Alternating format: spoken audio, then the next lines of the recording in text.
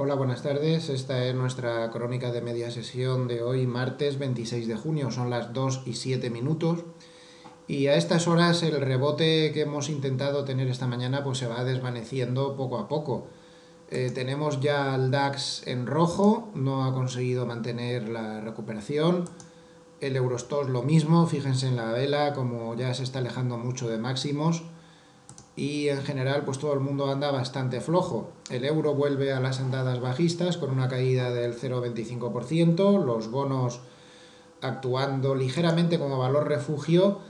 Eh, esto no quita para que el boom haya tocado la rentabilidad mínima desde febrero del 2017, eh, con una rentabilidad, no hagan caso de esto, por aquí saltos de vencimientos, esto es el futuro, pero ahora mismo el boom tiene la rentabilidad mínima desde febrero del 2017 con un menos 1,88% de rentabilidad. Es una especie de locura meterse con, esos bonos. Eh, los futuros americanos en el Globes también han perdido sus ganancias y solo las conserva y muy ligeramente el Nasdaq y el oro baja 0,91%.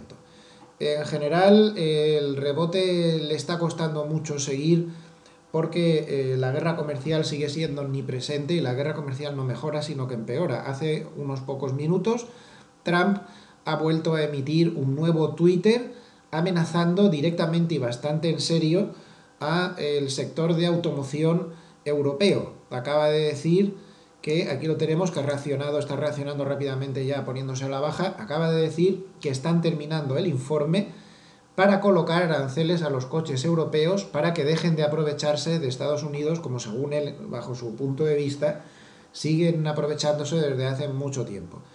Eh, por si esto fuera poco, ya hay gente que está diciendo eh, que si se calcula todas las amenazas que hay mutuas de aranceles de unos contra otros, podríamos estar hablando que, por ejemplo, a Estados Unidos le podría costar 4 puntos del Producto Interior Bruto, lo cual es una auténtica barbaridad.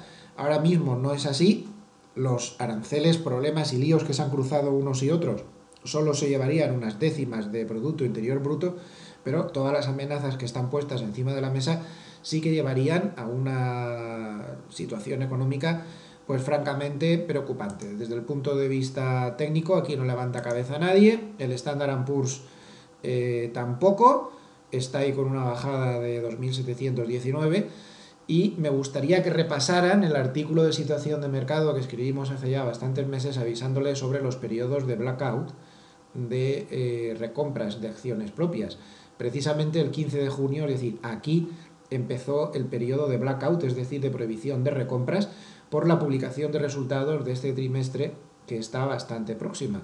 Eh, será casualidad, pero ya ven que desde que se ha prohibido las recompras, eh, no paramos de bajar. Interesante. Gracias y hasta luego.